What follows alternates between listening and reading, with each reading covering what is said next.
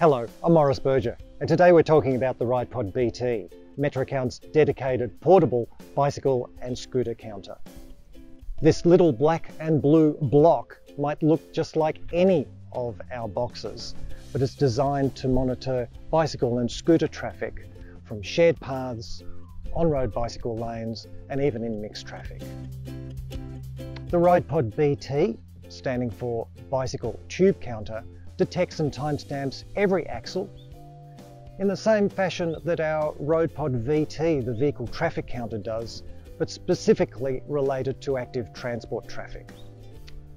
A noticeable difference are the thin wall tubes that are used for the RidePod BT. This in combination with the optimized firmware and the highly sensitive air switches allow us to detect the lighter air pulses provided by bicycles and scooters. The raw data files obtained from the RidePod BT can be analysed using MetroCount's MTE software, as well as our newest online software platform, Atlas, that allows us to work with detailed, customisable reports that we can share, print and upload to other software packages such as GIS.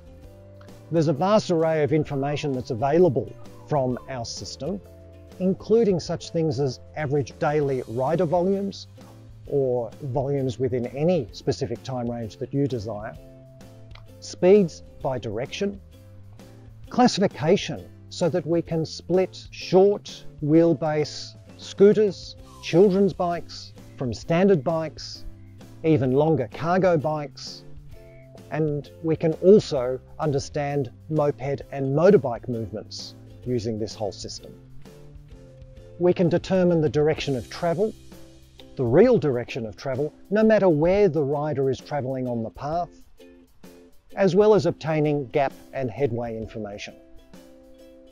Accuracy is extremely important when monitoring such a small sample size in the active transport field, certainly in comparison with vehicle traffic. When we're looking at annual growth trends in the region of 5%, for instance, and you're using a bike counter where the accuracy might be plus or minus 5% or more than that from actual, then we would misinterpret or lose the definition of what's happening in our cycling movements. We'd lose the understanding of our growth trends and patterns. The system is extremely accurate for a number of reasons.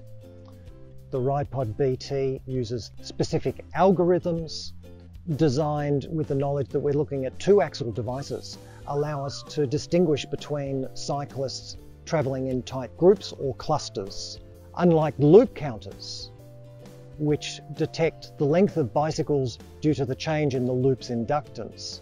The RidePod BT detects, detects all bicycles no matter what material they're made of, including carbon fibre bikes.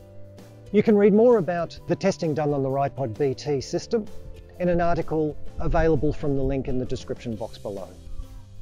Not only is the RidePod BT system accurate and reliable, it thrives on low power consumption. The system can be used in all weather and lighting conditions for around four years without the need to change the battery or connect to any external power supply.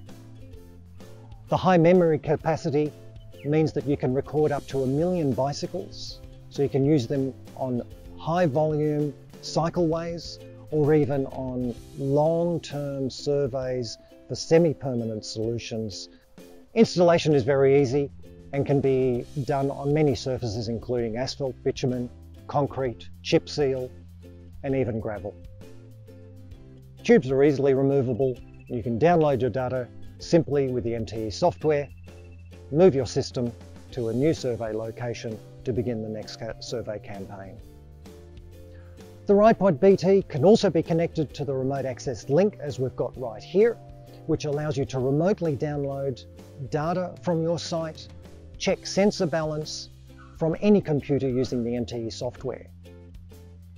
MetroCount provides remote access service packages for many road authorities and local government agencies worldwide.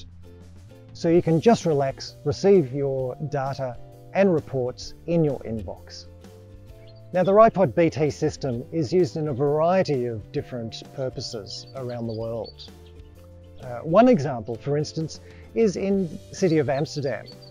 The RidePod BT was used to determine whether mopeds legally allowed to ride on bicycle lanes were the cause of crashes and injuries. The study showed that those vehicles with a wheelbase of 1.25 to 1.4 metres were travelling at 10 to 15 kilometres higher than those of standard bikes, that is 0.8 to 1.2 metres. The City of Amsterdam legislated to move the mopeds from the bike lanes and shifted them onto the road. Average crash rates around 100 per annum previously dropped to 29 in 2019. In the city of Aysén in Chile, the RidePod BT system was used to determine where permanent bicycle counters should be installed.